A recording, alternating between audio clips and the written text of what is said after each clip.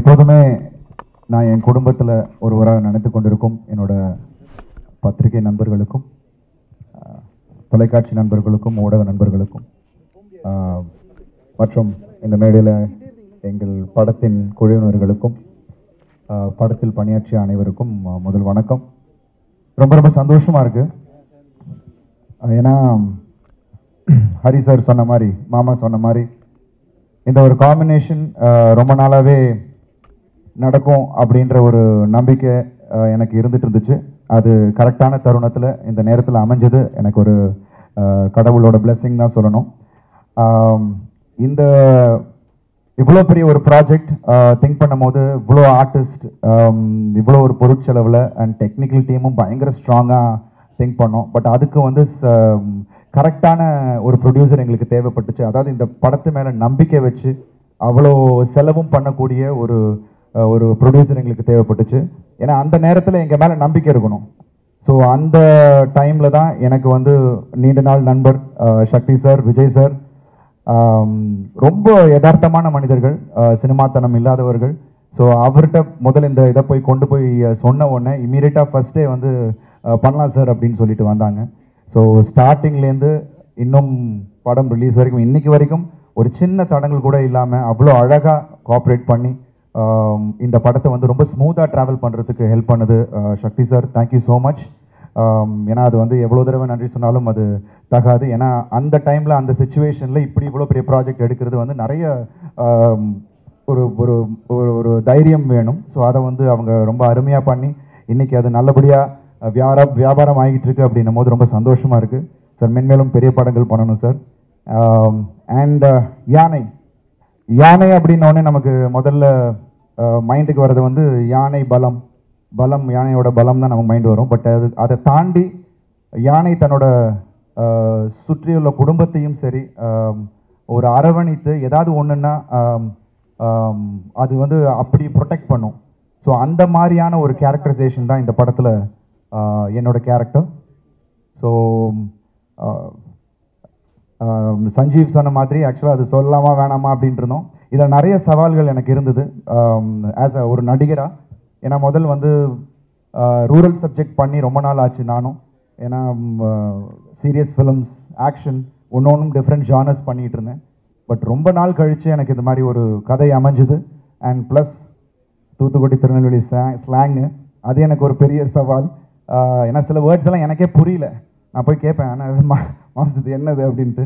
So அந்த மாதிரி சில விஷயங்கள்லாம் பெரிய டாஸ்க்காக இருந்தது. பட் அதை ரொம்ப ஸ்மூத்தாக அந்த எக்ஸ்பீரியன்ஸை ரொம்ப அழகாக அதை கொண்டு போய் என்னை வந்து தோல் தட்டி அப்படி அழைச்சிட்டு போனார்.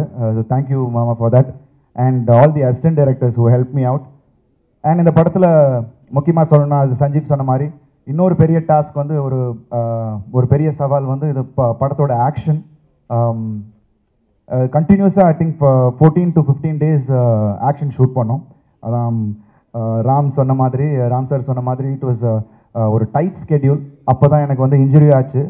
பட் அதெல்லாம் மீறி ஒர்க்குன்னு வந்துருச்சுன்னா நம்ம வந்து எல்லாத்தையும் மறந்துடுவோம் ஒரு சைடு பெயின் கில்லர் ட்ரிப்ஸை ஏற்றிட்டு போய் பண்ணோம். பட் இன்றைக்கி அதை அந்த ஸ்க்ரீனில் பார்க்கும்போது அண்ட் ஐ திங்க் நீங்கள் பார்க்கும்போது ஐ திங்க் கண்டிப்பாக அது வந்து பேசப்படும் அப்படின்ற ஒரு நம்பிக்கை இருக்குது எனக்கு ரொம்ப சந்தோஷமாக இருக்குது இப்படி ஒரு பெரிய டீம் கூட ஒர்க் பண்ணது அண்ட் ஆக்டர்ஸ் மாமா சொன்ன மாதிரி ஒவ்வொரு சீனும் வந்து சொல்லி உட்காந்து ஒவ்வொருத்தரும் நம்ம இது பண்ணலாம் அது பண்ணலாம். ஏன்னா பிகாஸ் இது அவரோட பேட்டர்ன்லேயே கொஞ்சம் சேஞ்ச் பண்ணியிருக்காரு. அது நீங்கள் படம் பார்க்கும்போது தெரியும். ஏன்னா அந்த ஒரு லெங்க்தி ஷார்ட்ஸ் ஸோ இவ்வளோ நல்ல ஆக்டர்ஸ் இருக்கும்போது தான் அது அந்த மாதிரி தைரியமாக பண்ண முடியும். ஒவ்வொருத்தரும் அவ்வளோ அருமையாக பண்ணாங்க. ராதிகா மேடமாக இருக்கட்டும் சஞ்சீவ் போஸ் வெங்கட் சாராக இருக்கட்டும் இல்லை சமுதிரகணி அண்ணா இருக்கட்டும் அவ்வளோ அழகாக அமைஞ்சுது. எனக்கு என்னை பொறுத்த வரைக்கும் இந்த ஸ்கிரிப்டில் கண்டிப்பாக இது வந்து குடும்பங்களாக மட்டும் இல்லை எல்லாரும் கனெக்ட் பண்ணுவாங்க அப்படின்றது எனக்கு தெரியும். ஏன்னா அப்படி அவ்வளோ ஆழமாக அந்த ஒவ்வொரு சீன்ஸும் அமைச்சிருந்தாங்க. அண்ட் டைலாக்ஸ் ஹார்ட் ஹிட்டிங்காக இருந்தது. சில நேரத்தில் நான் வந்து நடிக்கும் போது நடிப்பை தாண்டி சில விஷயங்கள் அப்படியே நான் பண்ண ஆரம்பிச்சிட்டேன். நிறைய நான் ஃபீல் பண்ண ஆரம்பிச்சிட்டேன். சில சீன்ஸ் அது உண்மையாக எனக்குள்ளே இருந்து அப்படியே வந்தது.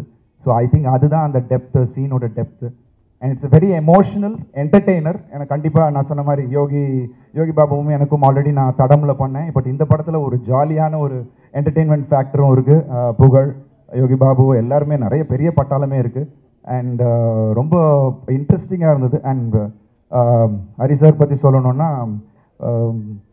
என்ன சொல்கிறது அவர் வந்து பயங்கரமான ஸ்ட்ரிக்ட் மாஸ்டர் அப்படின்னு முன்னாடியே தெரியும். நம்ம நிறைய கேள்விப்பட்டிருக்கோம். பட் என்னென்னா அங்கே போன உடனே அவரோட அந்த சின்சியாரிட்டி இருக்கு இல்லையா அதுதான் பயங்கரமான ஒரு விஷயம். அப்படி இவ்வளோ பெரிய கூட்டத்தையும் ஒருத்தர் கண்ட்ரோல் பண்ணோன்னா அது வந்து அவர் அந்த ஸ்ட்ரிக்டாக இல்லைன்னா அது நடக்காது. ஏன்னா நான் நான் நான் கண் கூட பார்த்தேன். சில சீன் நாங்கள் பண்ணிகிட்ருப்போம் உதாரணத்துக்கு நாங்கள் ஒரு சீன் ஒரு ஒரு சீனில் வந்து ஆக்சுவலாக ஷூட் பண்ணிக்கிட்டு இருக்கோம் இங்கே வந்து எனக்கு வந்து ஒரு க்ளோஸ்அப் எடுத்து முடிச்சுட்டு நெக்ஸ்ட் ஷாட் லென்ஸை மாற்றுங்கன்னு சொல்லிட்டு இன்னொரு யூனிட் வந்து பின்னாடி ஏன்னா பிகாஸ் அந்த ஆர்டிஸ்ட் போக வேண்டியது இருந்துச்சு. பின்னாடி இருக்குது ஸோ ஒரு ஸ்கூட்டி வந்து வெயிட் பண்ணிக்கிட்டே இருக்குது ஒரு அசிஸ்டன்ட் டேரக்டர் ஸ்கூட்டியில் உட்காந்துட்டு இருக்கேன். டக்குன்னு சார் ஷார்ட்டை மாற்றுங்கன்னு சொல்லிட்டு டக்குன்னு அந்த ஸ்கூட்டியில் ஏறி அடுத்த ஷாட் அங்கே போயிட்டு ஓகே பண்ணிட்டு திருப்பி வராரு. ஸோ அந்த மாதிரியான ஒரு ஸ்பீடை மேட்ச் பண்ணுறது அந்த எனர்ஜி அதை பார்த்த உடனே எங்களுக்கு பயங்கர எனர்ஜியாக இருந்தது. ஏன்னா படம் வந்து எந்த எந்த அளவுக்கு பரபரப்பாக எடுத்தாலும் இல்லை டஃப்பாக இருந்தாலும் பட் எங்களுக்கு ரொம்ப சந்தோஷமாக இருந்துச்சு. நல்லா ஒர்க் பண்ணோம் அப்படின்ற ஒரு ஒரு திருப்தி எங்களுக்கு இருந்தது. So that was something really nice அந்த குட் வைப்ஸ் எங்களுக்கு வந்து டெய்லி ஒன்று இருந்தது. ஏன்னா காலையில் அஞ்சு மணிக்கு யார் எந்திரிக்கிறாங்களோ இல்லையோ ஒரு நாலரை மணிக்கு அப்படியே வாக் பண்ணுவார் காரிடார்லேருந்து அப்படியே நடந்து வருவார். வந்துட்டு ஒன்றுமே பண்ண மாட்டார். வந்து அங்கே காஃபி குடிப்பார். ரூம்லேயே உட்காந்து குடிக்கலாம். அங்கே வந்து ஒரு காஃபியை குடிப்பார். அப்போது டேரக்டர் எந்திரிச்சிட்டு எல்லாரும் ஓடுவாங்க. அதே மாதிரி ஷிஃப்ட் அப்படின்ட்டு அவர் வண்டி எடுத்து போயிடுவார். இப்போ அவர் வண்டியை சேஸ் பண்ணிட்டு எல்லாரும் எடுத்து புரட்டி கிரட்டி எடுத்துட்டு அடுத்த ஷிஃப்ட்டு ஏன்னா லொக்கேஷன்ஸ் அவ்வளோ லொக்கேஷன்ஸ் படத்தில். அண்ட் நிறைய ட்ராவல் ஷாட்ஸ் இருந்தது. ஸோ எனக்கு பிகினிங் ஒரு ஒன் ஒன் ஆர் டூ டேஸ்லேயே தெரிஞ்சிருச்சு அவரோட ஸ்பீடு ஸோ அதுக்கு தகுந்தாப்புல நம்மளும் மேட்ச் பண்ணி போனோம். But again Gopi sir thank you so much அவர் கூட நான் ஒர்க் பண்ணியிருக்கேன். பட் இந்த படத்தில் ஐ திங்க் கோபி சாருக்கும் ஹரி சாருக்கும் ஒரு நல்ல ஒரு சிங்க் நீங்கள் படம் பார்க்கும்போது உங்களுக்கு எல்லாருக்குமே தெரியும். ஒரு டிஃப்ரெண்ட் கலர் அண்ட் ஒரு ஒரு ஆங்கிளும் அதுவும் ஆக்ஷன் சீக்வன்ஸில் அமேசிங்காக ஒரு ஒரு ஃப்ரேம்ஸும் வச்சுருந்தாரு. Thank you I think I got a lot of nice technicians GV Prakash again first time work பண்ணுறேன் is just waiting for is re recording இந்த ஃபிலிம் அண்ட் பாடல்கள் எல்லாமே ரொம்ப அருமையாக கொடுத்துருக்காரு. அண்ட் ஆல் த டெக்னீஷியன்ஸ் இந்த film I thank everyone and இந்த நேரத்தில் ஒர்க் பண்ண எல்லா பிஆர்ஓலேருந்து மற்ற எல்லாருக்கும் நன்றியை தெரிவிச்சுக்கிறேன். ஏன்னா இந்த படம் மே ஜூன் செவன்டீன்த் வருது. உங்களோட ஆதரவு எங்களுக்கு தேவை. ஏன்னா இது மக்கள்கிட்ட கொண்டு போய் சேர்க்க வேண்டியது நீங்கள் தான் ஸோ கண்டிப்பாக அதை நீங்கள் கொண்டு போய் சேர்ப்பீங்கன்னு நினைக்கிறேன். Thank you so much it's big film for me thank you